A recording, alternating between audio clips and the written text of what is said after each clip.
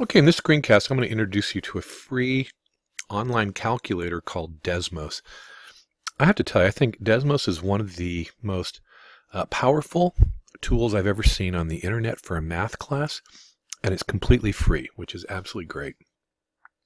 What Desmos will do uh, in, in just a couple short words is that it will visualize any equation that you type in to Desmos itself.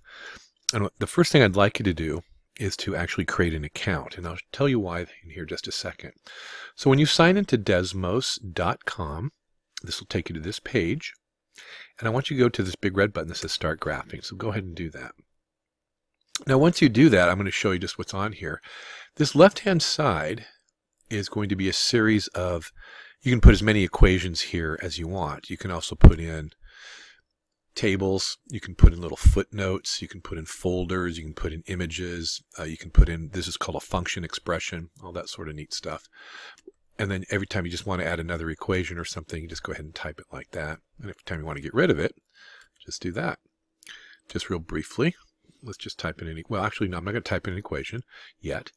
On this right-hand side, you'll see there is a graphing, uh, there's a uh, XY axis the neat thing about this is that you can exact, you can just hold it down, for example. And now you can just go right to the first quadrant. You can change the uh, intervals between each step here. So here you see this is 0, this is 2, which would make this 1, which would make this a half. But all you need to do to change all of that is just go to these graph settings and then just change what you want your intervals to be. Okay, so we'll just say step. Each one will be step ones, all right? And then you can see now that I've just changed to one, two, three, four. And that was for the x-axis. For the y-axis, I'm going to make them step ones as well. And again, you can see how it changes it here immediately, okay? Now, that's just a brief, brief introduction. But what I want you to do right now is to create an account.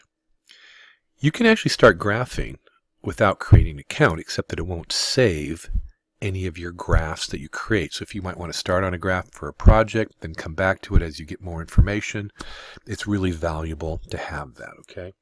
So go ahead and create the account, sign up here on the green. You can see I already have an account, right? But I'm just going to put my name in here. And you can see that um, this is the email I'm using. I'm using the school email. I suggest you do too.